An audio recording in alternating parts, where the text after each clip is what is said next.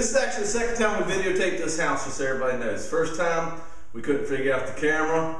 Never could get it on YouTube. So this is the second time. All right, 938 Curtis Avenue, uh, 1,700 and some odd square feet, three bedroom, one and a half bath, two bath. I'll show you what I mean in a minute.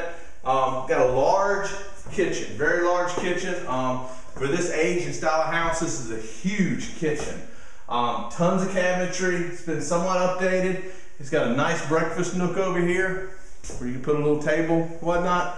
Um, again, all new replacement windows, ceramic tile floors. It's been a lot of upgrades, a lot of love and attention been taken care of this house.